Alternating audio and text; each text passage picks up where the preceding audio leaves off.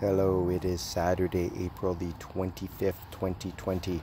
I was able to agitate or, or turn over some of the balloon biodegradable type stuff.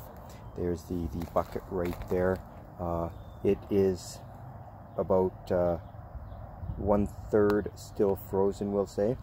Uh, so anyway, I did rotate the top, but anyway, as we said, April the 25th, 2020, and we'll uh, keep adding to this throughout the year and watching the balloons decompose. Okay, thanks for now. Bye.